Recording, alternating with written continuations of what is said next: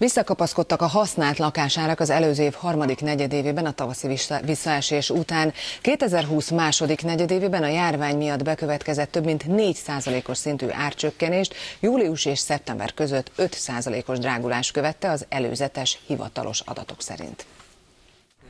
A KSH előzetes adataiból arra lehet következtetni, hogy 2020 harmadik negyedévében bekövetkezett áremelkedés elsősorban az olcsóbb településeken történt adásvételeknek köszönhető.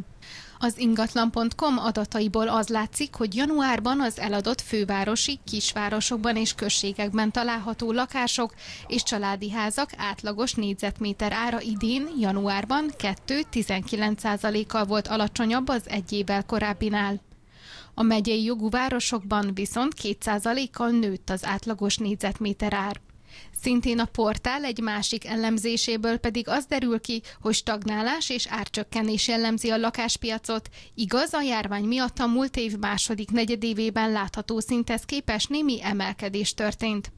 Az ingatlan.com szakértője rámutatott arra, hogy 2021 elején több kedvezmény és támogatás is megjelent az otthonteremtési programban.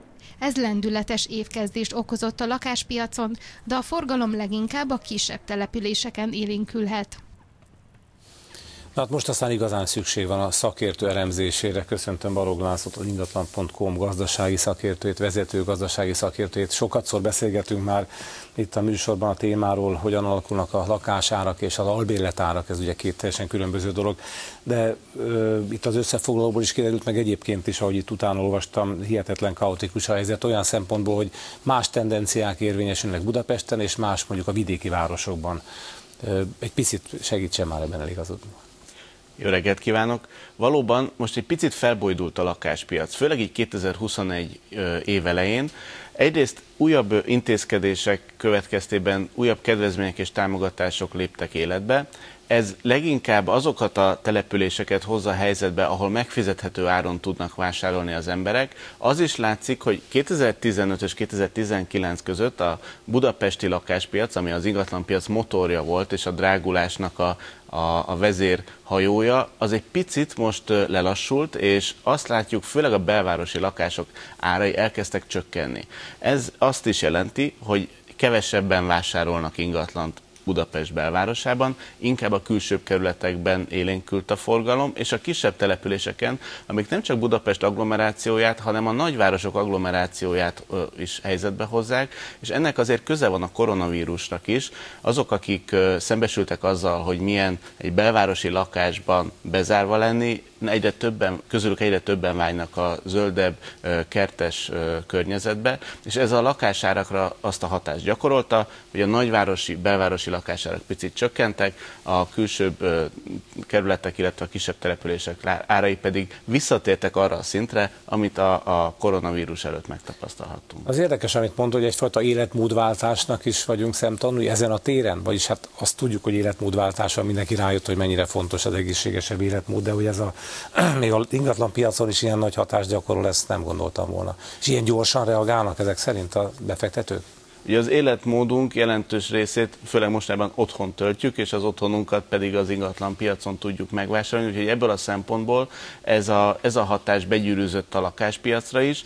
Van még egy ö, olyan fordulat, ami, ami a következő években meghatározható lehet, ez pedig az új építésű ingatlanokra vonatkozó kedvezmények kibővít, kibővítése következtében új lendületet kaphatnak a lakásépítések. Itt viszont teljesen más tendenciákat számítunk. Annak ellenére, hogy 27%-ról 5%-ra csökkent az új lakásokat terhelő lakásáfa, ez robbanásszerűen beint, megnövelte a kínálatot, viszont a bruttó árak nem csökkentek olyan mértékben, 1-2 százalékos vissza. Ez ami nagyon-nagyon bosszantó a lakásvásárlók számára, hogy nem tudom miért, valahogy ez lehet egy magyar sajátosság, hogy rögtön élnek azzal, hogy Anuperrel a a vásárlók, hogy ezt akkor ezek szerint benyelik valahol a vállalkozók, tehát hogy nem jut el hozzájuk végül is különböző kormányzati intézkedések sora, vagy ha igen, kapnak egy kedvezményt, támogatást, akkor mindjárt annyival emelkednek is érdekes módon az árak. Tehát ezt beárazzák akkor a, az építők, a vállalkozók?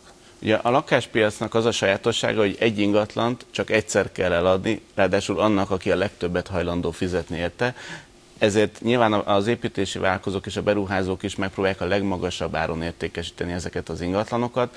Így tanulni lehetünk annak is például, hogy amikor életbe léptek ezek a kedvezmények januárban, voltak olyan ingatlan hirdetések, amit 2010, 2020 decemberében még egy adott áron kínáltak eladásra, majd, 5, majd 5%-kal drágább bruttó áron hirdették meg 2021 januárjától, azzal a, a 24 óra alatt ennyit változnak az árak. Azzal a kitétele, hogy aki sokkal vásárol, az még az eredeti bruttó áron tudja majd megvásárolni az ingatlant, mivel a csokos vásárlók vissza tudják igényelni még ezt az 5%-os áfát is.